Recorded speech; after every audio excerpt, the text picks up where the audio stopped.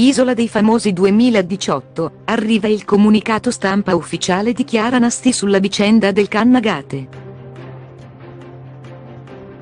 Chiara Nasti, la giovane fashion blogger ed ex naufraga dell'Isola dei Famosi, ha divulgato un comunicato stampa ufficiale dopo il filmato mandato in onda da Striscia la notizia in cui è stato diffusa una sua conversazione privata in cui si ascoltano dichiarazioni dell'ex naufraga a cena con il marito di Avenger, che avvaloravano tutte le accuse di quest'ultima contro Francesco Monte. Il comunicato ufficiale di Chiara Nasti. Mi sento in dovere di prendere una ferma e netta posizione in ordine ad una vicenda che, mio malgrado, mi ha visto coinvolta non appena tornata in Italia al termine dell'esperienza vissuta al programma televisivo L'Isola dei Famosi. Ma andiamo con ordine.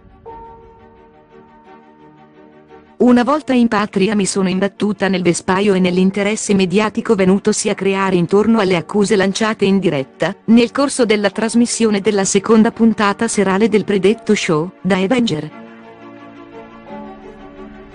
Quest'ultima aveva in pratica denunciato l'acquisto e l'uso di marijuana da parte, in particolare, di un altro concorrente durante i giorni, che avevano preceduto lo sbarco dei naufraghi sull'isola. Per mero dovere di cronaca, mi preme evidenziare che, in occasione della richiamata circostanza, la sottoscritta non era più presente perché già ritiratasi in precedenza dal programma.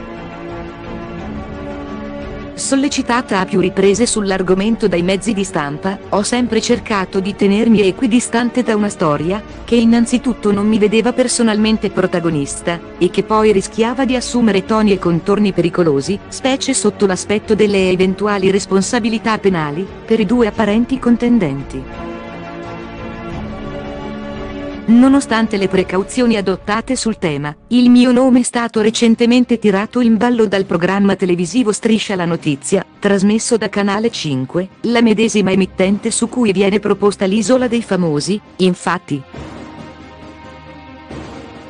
Il noto telegiornale satirico ha illegittimamente diffuso un'intercettazione audio registrata probabilmente nel corso di un pranzo privato tenutosi in un ristorante di Milano, nell'immediatezza del mio ritorno in Italia, in compagnia del solo mio fidanzato Ugo e del marito di Avenger, Massimiliano.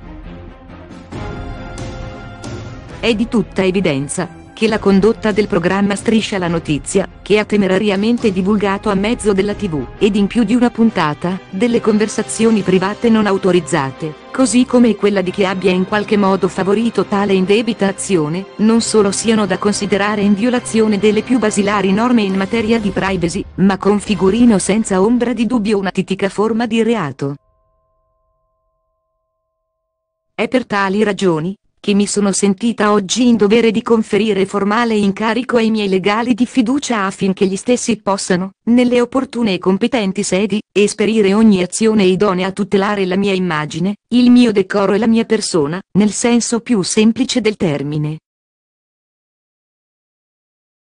Ovviamente non tornerò più in seguito su un argomento, che assolutamente non mi riguarda, confidando che il mio nome non sia mai più oggetto di assurde quanto illecite strumentalizzazioni e dinamiche mediatiche, prettamente connesse ad inequivocabili obiettivi di audience televisiva.